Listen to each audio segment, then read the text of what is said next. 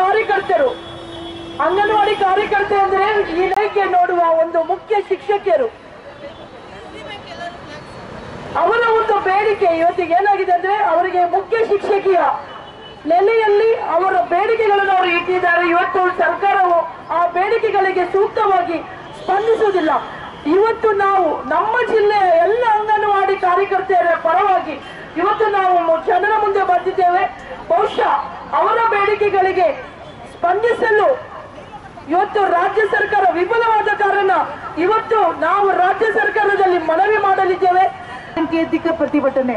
ತಮಗೆ ತಿಳಿದಿರುವಂಗೆ ಒಂದು ವಾರಗಳಿಂದ ಅಂಗನವಾಡಿ ನನ್ನ ಮಹಿಳಾ ಸಹೋದರಿಯರು ಬೆಂಗಳೂರಿನ ಫ್ರೀಡಂ ಪಾರ್ಕ್ನಲ್ಲಿ ಧರಣಿಯನ್ನು ಕುಳಿತಿದ್ದಾರೆ ಈ ದಿವಸ ಈ ಒಂದು ಫಾರ್ಟಿ ಪರ್ಸೆಂಟ್ ಭ್ರಷ್ಟ ಬಿಜೆಪಿ ಬೊಮ್ಮಾಯಿ ಸರ್ಕಾರ ಒಂದು ದಿನನೂ ಕೂಡ ಹೋಗಿ ಅವರ ಹತ್ರ ಮಾತುಕತೆಯನ್ನ ಮಾಡಲಿಕ್ಕೆ ಇಚ್ಛಿಸಿಲ್ಲ.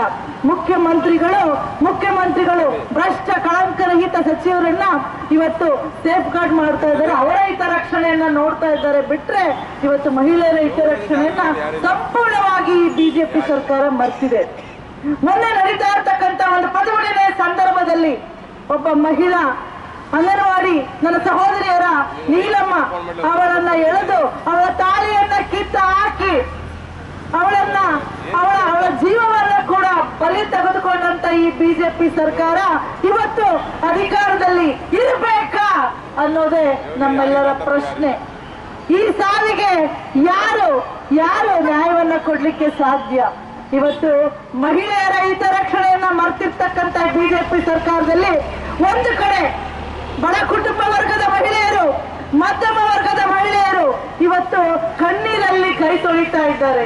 ಕೂಲಿ ಕಾರ್ಮಿಕ ಮಹಿಳೆಯರಿಗೆ ಒಂದೊತ್ತು ಊಟಕ್ಕೂ ಕೂಡ ಪರದಾಡ್ತಕ್ಕಂಥ ಪರಿಸ್ಥಿತಿಯನ್ನ ಈ ಬಿಜೆಪಿ ಸರ್ಕಾರ ತಂದಿಟ್ಟಿದೆ.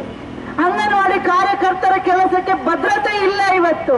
ಇವತ್ತು ಅವರು ಧರಣಿಯನ್ನು ನಡೆಸ್ತಾ ಇರ್ತಕ್ಕಂಥ ಸಂದರ್ಭದಲ್ಲಿ ಇವತ್ತು ಮೂವತ್ತರಿಂದ ನಲವತ್ತು ಸಾವಿರ ಹೆಣ್ಣು ಮಕ್ಕಳು ಫ್ರೀಡಂ ಪಾರ್ಕ್ನಲ್ಲಿ ಧರಣಿಯನ್ನ ನಡೆಸ್ತಾ ಇದ್ದಾರೆ. ಆದ್ರೆ ಒಂದೇ ಒಂದು ದಿನ ಏನು ಮಕ್ಕಳ ಮತ್ತು ಮಹಿಳಾ ಕಲ್ಯಾಣ ಸಚಿವರಾಗಲಿ ಅಥವಾ ಮಹಿಳಾ ಮಹಿಳಾ ಶಾಸಕಿಯರಾಗ್ಲಿ ಬಿಜೆಪಿ ಸರ್ಕಾರದಲ್ಲಿ ಇರ್ತಕ್ಕಂಥವ್ರು ಒಂದು ದಿನ ಅವರ ಗೋಳನ್ನ ಕೇಳಲಿಕ್ಕೆ ಹೋಗಿಲ್ಲ.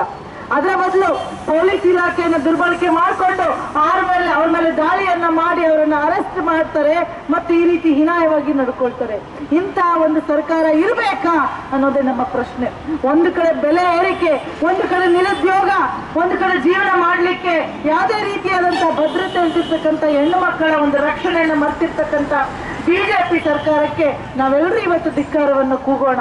ಈ ದಿವಸ ಇದೊಂದೇ ಅಲ್ಲ, ಬೊಮ್ಮಾಯಿ ಸರ್ಕಾರ. ಬೊಮ್ಮಾಯಿ ಸರ್ಕಾರ ವಜಾ ಆಗ್ಬೇಕು. ಅವರು ಬೊಮ್ಮಾಯಿ ಅವರ ಸಿಎಂ ಆಗಿ ಮುಂದುವರಲಿಕ್ಕೆ ಇವತ್ತು ಬಿಡಬಾರ್ದು.